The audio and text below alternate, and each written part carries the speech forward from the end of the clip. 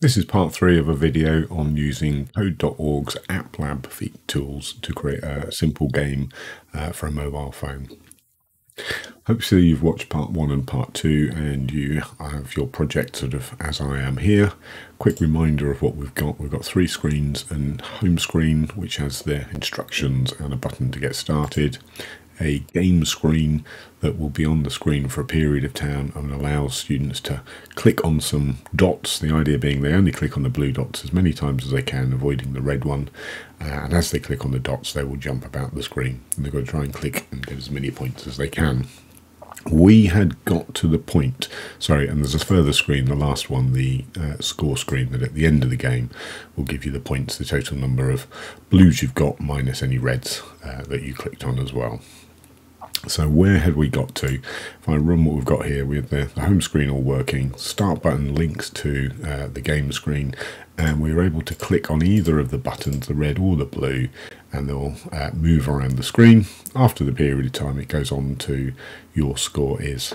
So realistically, the only bit that we've got left to do is a way of kind of keeping track of what the scores are uh, and displaying them to the user when we go on to this final screen at the end of the game. And perhaps we'll have a, a button on here as well that will allow people to restart the game.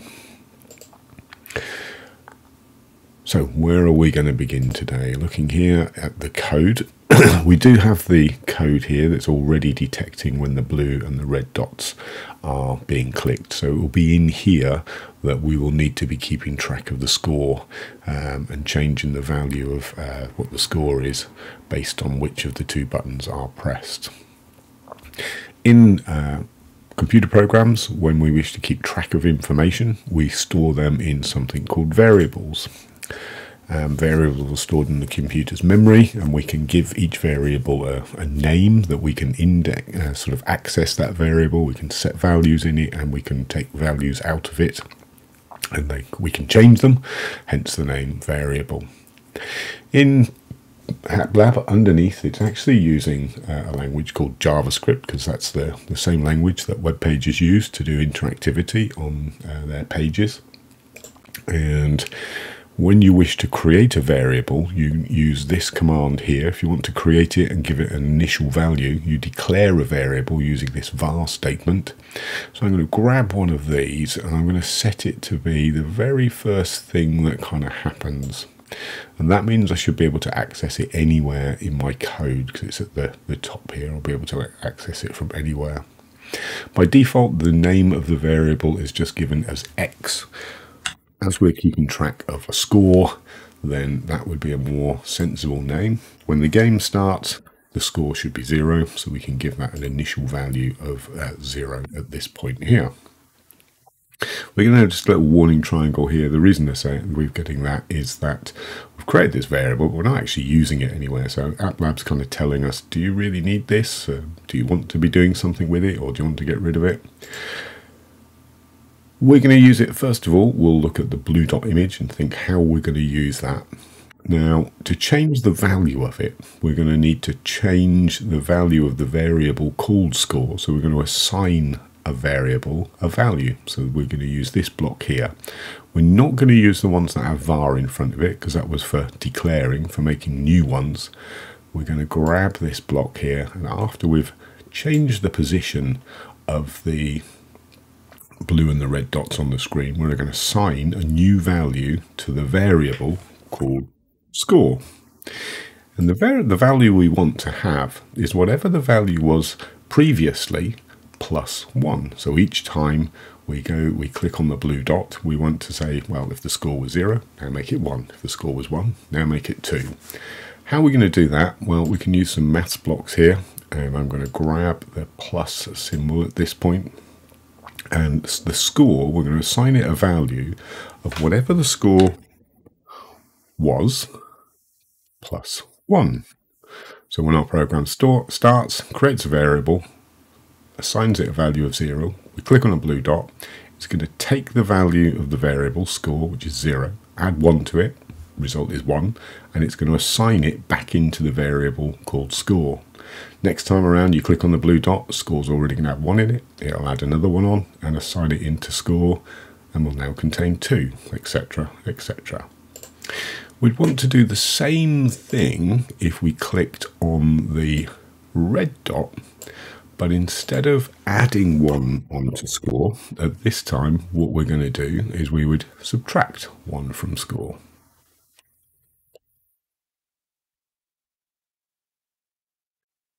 Like so.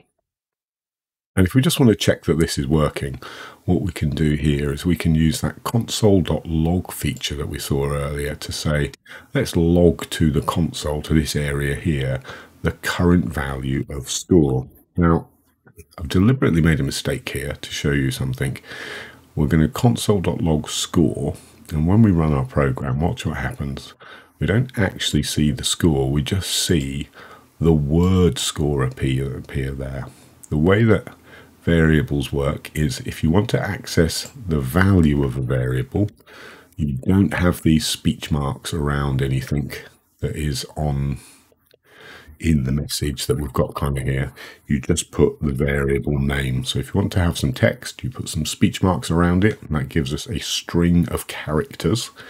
Um, but in our case, we want to log the value of the variable called score. So I'm removing those speech marks that were around it. Let's run our program again, start the game, and as you can see down in the console now, each time I press on the blue dot, it's adding one onto it, wasn't quite quick enough there, and logging that value to the screen there. Now I know that's working, I can kind of remove that. and we're nearly done here with the, uh, the scoring. The last thing we need to do though is make it so that when the game jumps onto the final your score, the score screen and it says your score is, we want the value of this variable to appear here on the screen somewhere. So I'm going to go back to the design view and I'm going to grab a label, a piece of text. And because I want to access this um, from within the code, I'm going to give its ID, something, name it something sensible. And we'll call this score uh, label. So we have this point here where we can access the score uh, and set it a value. Let's just put a zero in there for now. Uh, and also let's make it be quite a bit bigger so we can see a nice number on there. And we'll make the box be a little bit bigger as well. Uh, so it'll all fit into there. Let's make it quite a bit bigger. like so.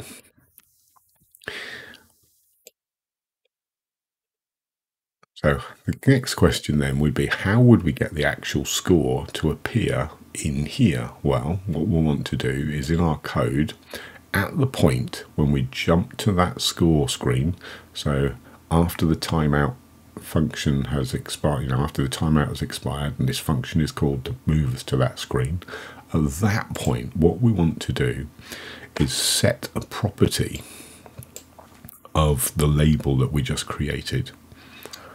So we're going to go set property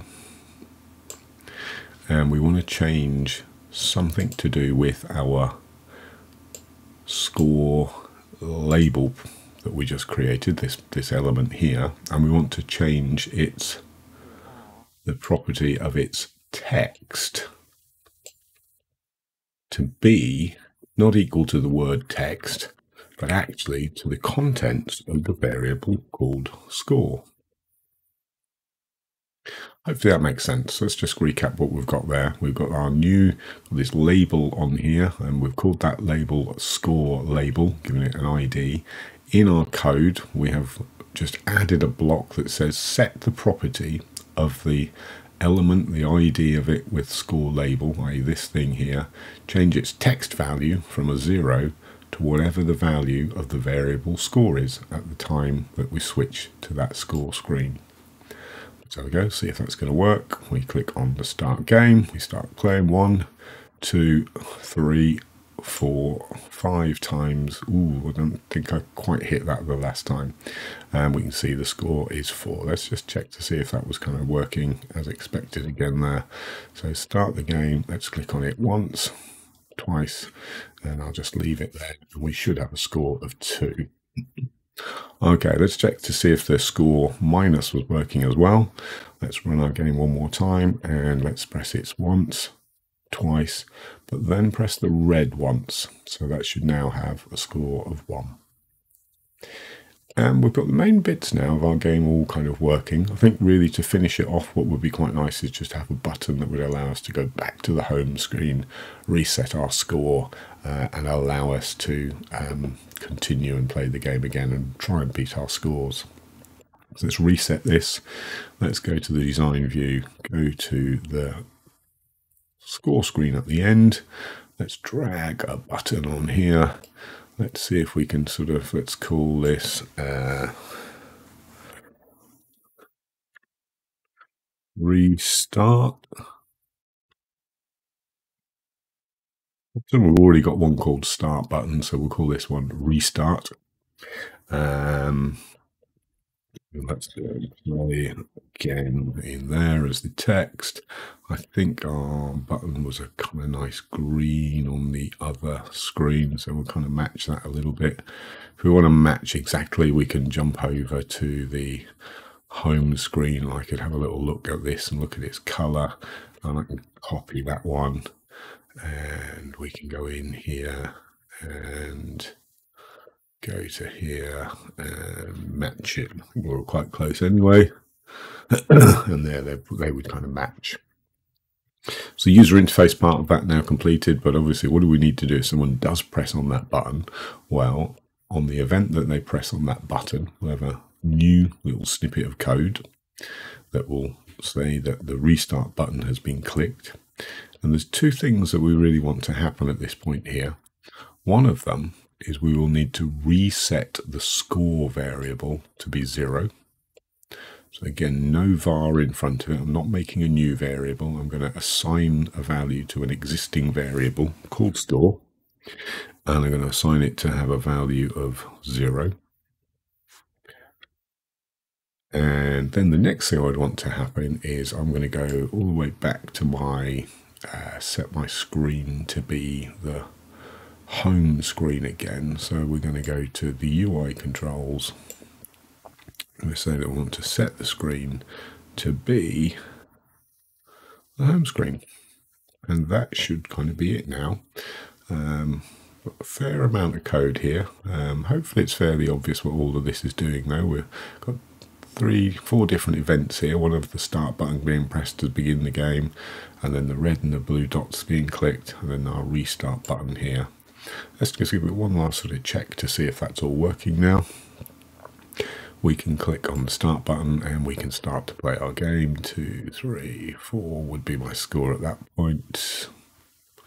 Hmm, two. What happened there? Let's just check to see if this is working properly. Let's start the game. One, two, three, four. Okay, that seemed okay there. Let me just play the game uh, one more time. Let's see if this works actually, the play game again. And we start the game and we're just going to click one. That seems to be working. Okay, so start the game. If I click one, two, three on that one, I'm going to end up with a, a negative score in my game of minus three. So that's us about finished with the game. A couple of suggestions that things you could do to maybe improve and build on it. One of them is you could maybe play some sounds when people press on the red button. Um, other things you could do is we could have a new variable called size uh, and what we could do is each time we redo the blue and the red dots, we could maybe make the blue dot size get a little bit smaller. So instead of staying at 100, maybe every time we press the button, uh, it might knock 5 or 10 off of the numbers in there to make it a little bit more uh, tricky. Okay, I hope that's all made some sense and uh, it's going to uh, get you playing around with AppLab and creating and sharing your uh, apps.